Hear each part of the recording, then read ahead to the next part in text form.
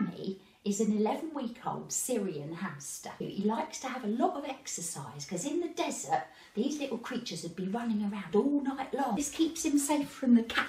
Have a little wander. There you go. Put it in here for the compost. There we go. Now, make sure it's not got any pee in it.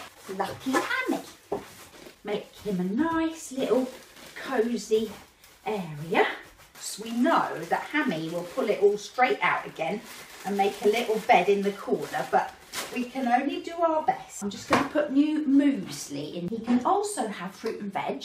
Can't have citrus, can't have onion. There. Tuck it in here. Slide it down. Come on. Oh, oh, oh, oh, oh. Come on. There's a good fella.